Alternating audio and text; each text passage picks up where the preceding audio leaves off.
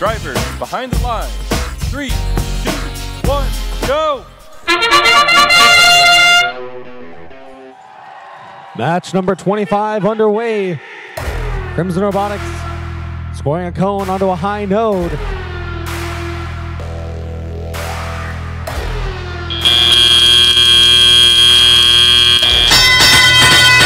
Red River Rage tried to engage there with the charge station. We'll have to see how that comes out in the scoring later on. Fire Island Robotics along with Red River Rage on the backside of the field now. 4260 Bear now pushing cubes all across the field. Now in the center of the field. Posing as a bit of an obstacle for these Red Alliance robots to get around. Crimson Robotics on the blue side of the field, dropping off a cube, setting up for a link. Now a cube and a cone pair. We see another cone going down now on the red side of the field by Red River Rage. They can get that onto the high node. They'll just need a cube to complete a link.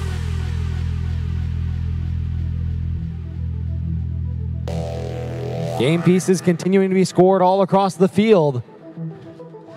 We do have plenty of cubes on the blue side of the field if they can get those back towards their grid.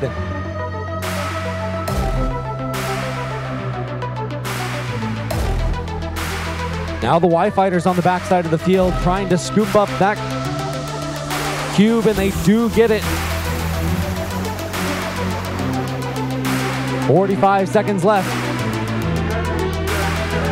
Links still being formed by both these alliances. 8822 might be having some connection issues. We'll see if RFCA can help them out. Still 30 seconds left in the match. Crimson Robotics playing a bit of defense against our red robots on the backside of the field, trying to prevent them from scoring any more of their game pieces. And 7048 has decided to engage with the charging station. Was level, they're going to let up 7848 as well, the Y Our Red Alliance looks to engage, Blue has two engaged as well. That's where our robots land.